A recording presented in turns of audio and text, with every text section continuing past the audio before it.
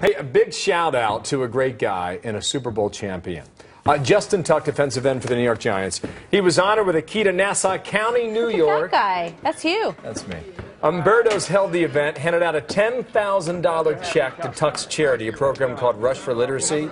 And Big Daddy, Rich Salgado, helped make it all happen. That pizza joint, by the way, they started a weekly tradition four years ago to feed the team on every Friday. That's which awesome. Is a, it's a lot of pie. So at the Super Bowl, they flew out a bunch of fresh Like one, pies. one pie per team member, probably. Yeah, I would say, especially those linemen too. Anyway, the and the Giants rewarded the pizza joint with Good for them. Super Good for them. victory. So Tuck's a great man. He's doing really good things too. We need more guys just like him too. So And he certainly does his duty on the team as well. that he does. Good to be back with you. By Good the to way. see you, Bill.